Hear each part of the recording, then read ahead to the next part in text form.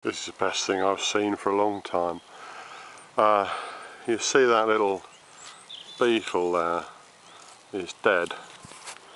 These are lesser um, ground chafers and they hatched out in their tens of thousands last year. They're tens of thousands.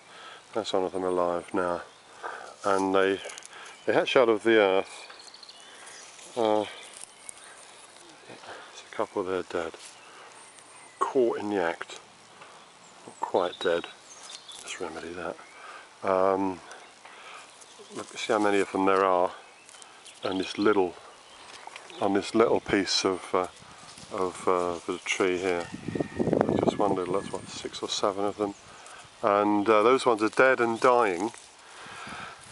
Uh, what they do, fly up into the tray, hatch out. They fly up into the apple trees and they settle on these little fruitlets and they bite holes in them. And I've seen them doing it last, uh, there's another, see it's not running because it's dead. Uh, um, that's what about six or seven on this little piece uh, here, but there was just one more.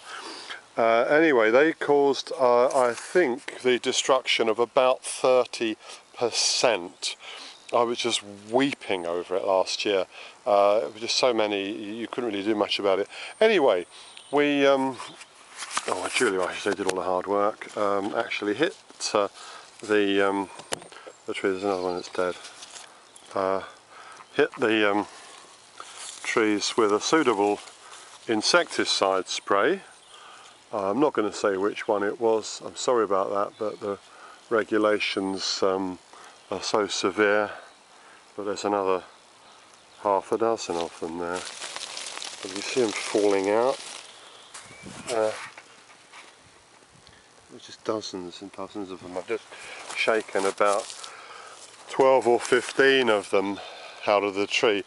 Um, but anyway we anticipated them um, and uh, got uh, a suitable insecticide uh, onto the um, the, the, apple trees just before these uh, hatch out. And they were our number one pest last year and they did destroy something in the region of 30%. Uh, some trees uh, which were carrying a good crop uh, basically just ended up carrying no worthwhile crop at all uh, because of the bites. The ones they bit into, they either rotted and died or else they grew with horrible deformities on them, completely unsaleable. Um, anyway, this year we, we hit with the right stuff at the right time um, and uh, the um, the chafer uh, bugs have flown up into the trees they've started eating uh, and um, they have uh, died as a result of our application of pesticide.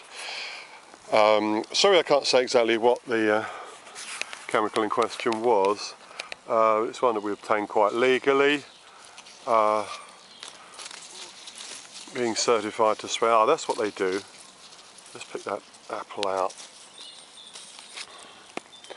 That's the sort of damage that they do. That's a very, very mild case.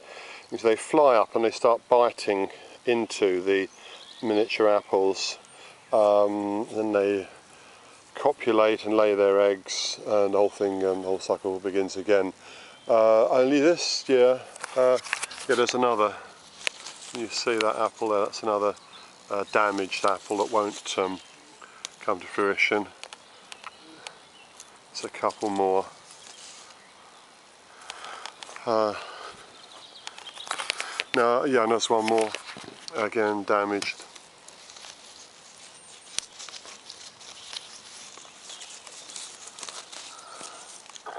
So you can see uh, just from these two adjacent trees, which are trees of Lord Lambourne, that uh, uh, the problem is uh, severe to catastrophic.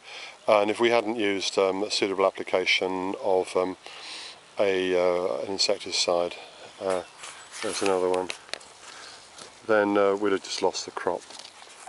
And I wasn't prepared for that to happen. Uh, so it just underlines the result. You need to observe your trees. Don't overdo it. Don't drench everything with poison 20 times a year Uh, but you may have to make a decision to drench things with poison two or three times a year.